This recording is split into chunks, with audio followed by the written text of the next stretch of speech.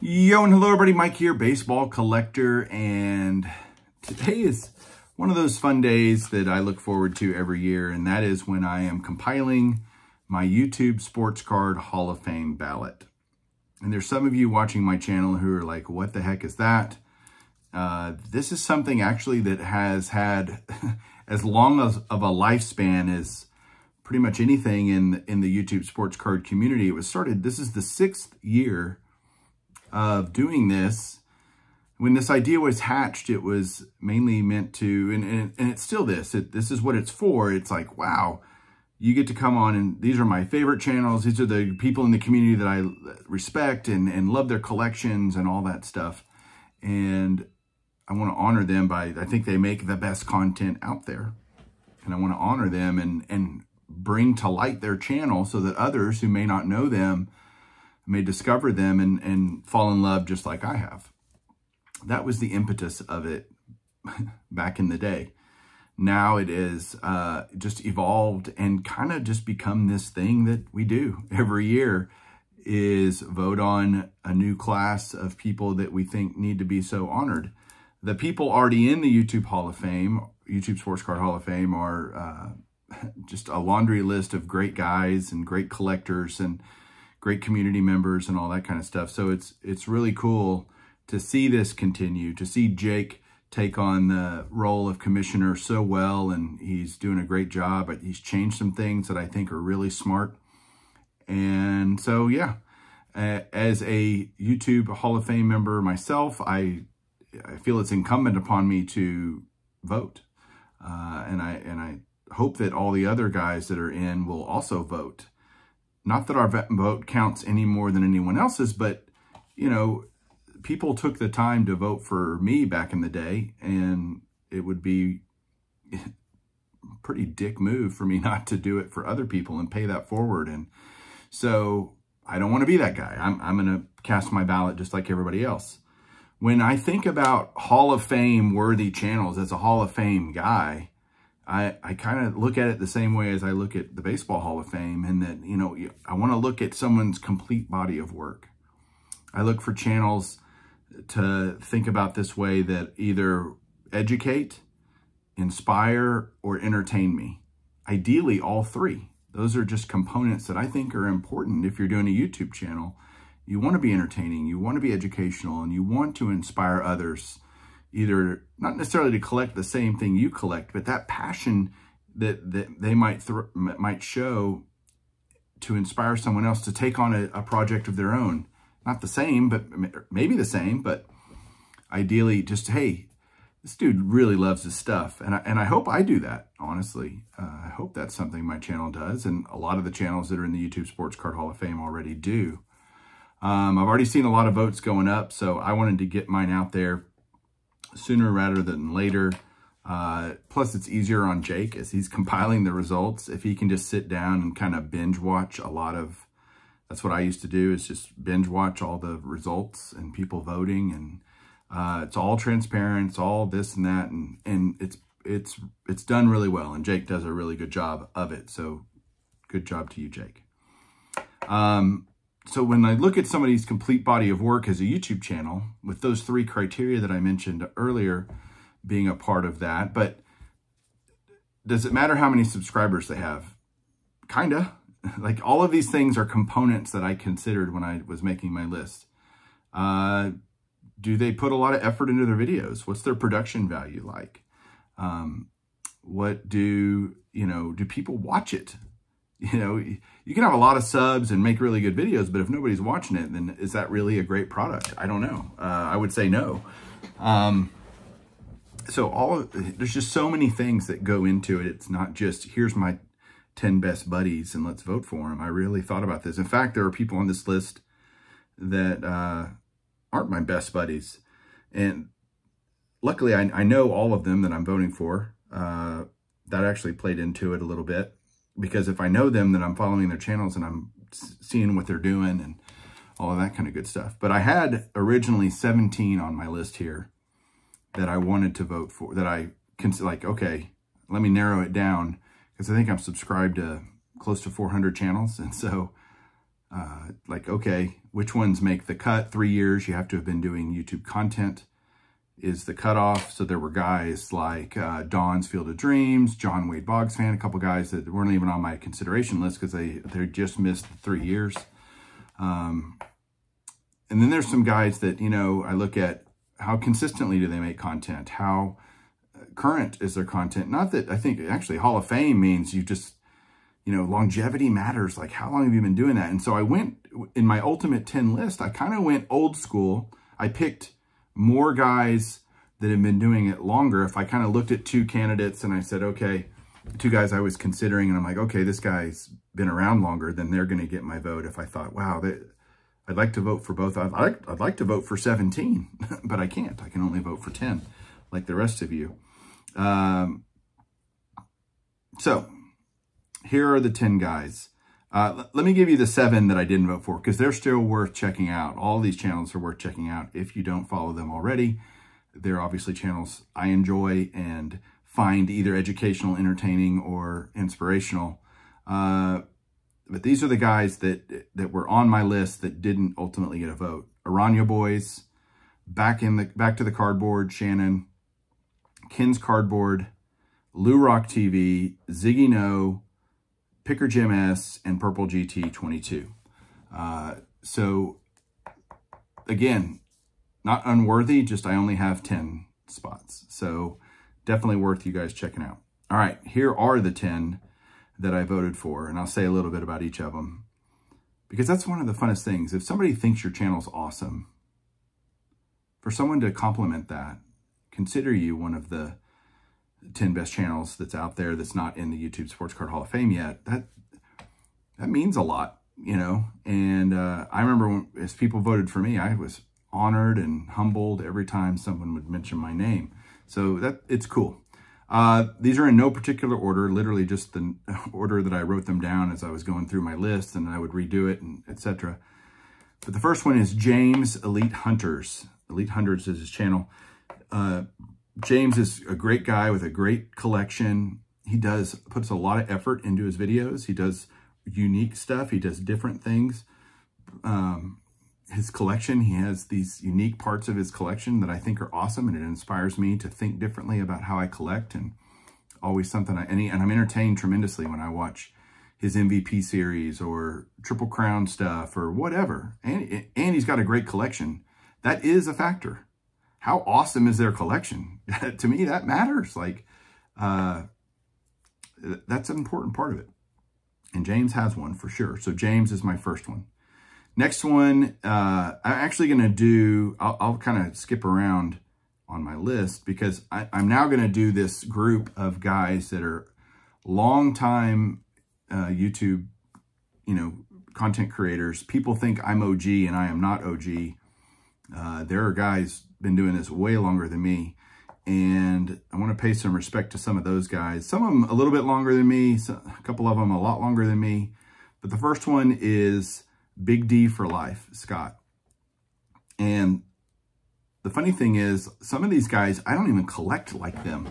But that doesn't mean they don't still have a great channel. Like, Scott's a football guy. The good news about Scott is he is a Cowboys fan. So there is that. That did help him. I'm telling you right now. Uh, Scott is passionate and love that he's opinionated and not afraid to share it. And, you know, uh, and he has a great Cowboys collection. So I always love watching his stuff. Um, I'm not into football cards, certainly as much as he is or the next guy, but I do respect it. And you can have, and that's the funny thing. You don't have to collect like somebody to respect what they do and respect their passion for it and enjoy watching them build their collections. The next guy is another football guy, Brad8671. Brad has been around since the wheel was created and he is consistent. He's still doing content. He is one of those guys that is a great community guy. All these people are. You'll, the 10 that I name are all great community guys. So I could say that literally about every one of them. But Brad, you know, he's Bradley Claus and, and every Christmas, everybody, it feels like he gives something to everybody and it's thoughtful and it's uh, creative and it's generous and it's just he he is one of a kind in our community and long overdue, I think, for recognition for this little thing that we call the YouTube Sports Card Hall of Fame. Uh, another old school guy, let me check these off as I talk about him so I don't duplicate myself, is Dustin Bellinger. DB has been around a really long time.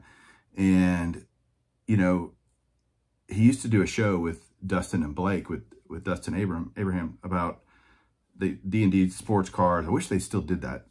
You guys should do that again. That was really good when you did it. But Dustin Bellinger should be in. He's been around forever and does a great job and helps the community with doing uh, grading submissions and all kinds of stuff. So Dustin Bellinger absolutely gets a vote from me. Uh, my last really old school guy that uh, just feels like gets lost in the shuffle maybe or something, but Caleb's cards. Uh, Caleb is incredibly community involved. Uh, he watches so many people's videos and comments and takes the time and uh, he, he cares about this community. He's a TTM guy, so uh, inspirational to me because I started doing a little TT. In fact, I sent a TTM out today.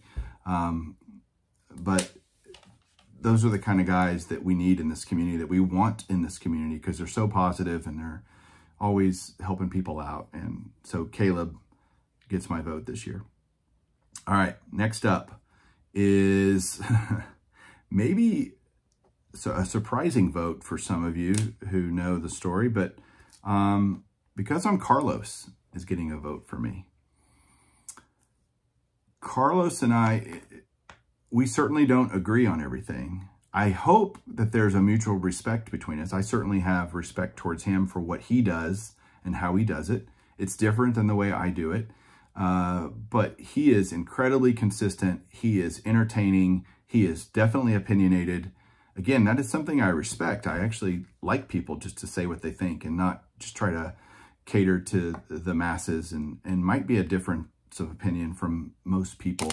But he gives an explanation why. He doesn't just throw out some random crazy thought without having a, a reasonable thought out, reasonably thought out explanation behind it. And so his lives are great. There's lots of people on there. People love doing that and going and seeing that. So because I'm Carlos, gets a vote from me. Next up is, uh, again, another guy, I think, like you think this community and you think of this guy, and that's Jimmy Gunz. Jimmy Gunz is a friend of mine, no doubt, and I love the guy.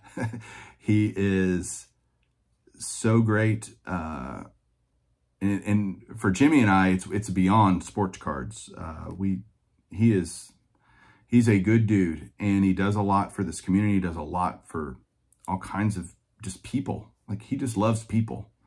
And I also want him on my side if I ever have to get into a West Side Story, you know, uh, type uh, battle of battle royale with another group of collectors. I definitely want Jimmy Gunz on my side. Uh, so Jimmy is just awesome, and I'm glad, happy, and honored to to vote for him. Let's see, what do I got? Three more. Uh, okay, I'll do this one now. You guys might agree to disagree with me on this one, but Card Collector 2, Ryan. Definitely, easily the guy, I think he probably has more subs than everybody else on my list combined. Subs isn't the only thing, it doesn't matter. But Ryan, great production value. He's obviously got a team and it's corporate and he's on a whole nother level than all of us uh, in, in terms of what he can do. But that doesn't mean the videos aren't worth watching. I, I love when he goes to shows. I love watching him negotiate. I learn, talk about educational, man, just watching him make a deal on a group of cards. Hey, what if I add this? What I, so many sayings that he says, a lot of them I've used for a long time. A lot of them I've added to my repertoire of negotiating skills by watching Ryan. And he is a master at it. He's really, really good. He picks up great stuff. Again, he's not even a baseball guy, really. He self-admitted, he will admit that uh, he doesn't know a lot about baseball, but that, again, he picks up a lot of stuff I would never even consider buying, and yet he finds joy in it and finds value in it and opportunity in it, and I respect that and appreciate it. So yeah, Ryan's got a vote from me. Two more. Reindeer Studios, Scott. This was tough because I I wanted to vote for Eric too. Like Eric would I didn't have Eric written down. Eric is another guy, Four Leaf Cards, who is amazing, great community guy and great artist and but um I I, I am giving a vote to Scott be, just because uh he is done a lot of stuff for a lot of people. So is Eric. So I don't want it to sound like Eric's not good and, and Scott is. Eric's fantastic. Eric's an amazing guy. Um, but I think Scott just uh, is great. He's so talented. I mean, so insanely talented. Go watch his videos on drawing anything. and uh, I can't draw a stick figure very well. So I just respect what he does and admire what he does. And he's great for this community and all that.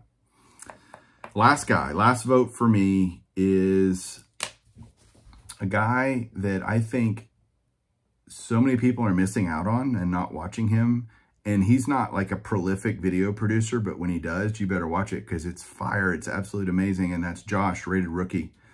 Josh is uh, a great guy, has an amazing collection, and he's incredibly humble about it. He's incredibly just, just down-to-earth guy he could be flexing a lot, I promise you guys, and he doesn't do that. He is just so cool.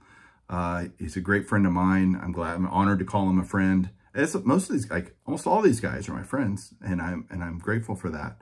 That's that's certainly what makes a community a community is the the connections that we make and the friendships that we make. But Josh uh, is one of those guys that I just he's like must watch for me. If he puts a video out, I am watching it because I'm going to see something very very cool and then he talks about it and the connections there and it's uh, baseball, basketball, football, it's all kinds of stuff and it's all just awesome. And we think a lot alike, Josh and I, I think um, there are several guys in the community that I consider kind of like brothers just because we get along in that way, in a good way and, and complement each other a lot in, in terms of complementary type uh, personalities and collecting styles. And Josh is one of those guys. So Josh is my 10th vote. I hope all these guys get in. Only five of them are going to get in. That's another change that uh, Jake made that I actually think is good because it helps the longevity of this whole idea of the YouTube Sports Card Hall of Fame. And, but those are the 10 votes that I'm putting out there for you guys. If you don't know their channels, go check them out. I will put links down below to these channels. So if you don't know them or are not familiar with them, go check them out. See what you think. We'll talk to you guys soon. That's my vote this year, 2023 YouTube Sports Card Hall of Fame. Have a great one. Keep collecting.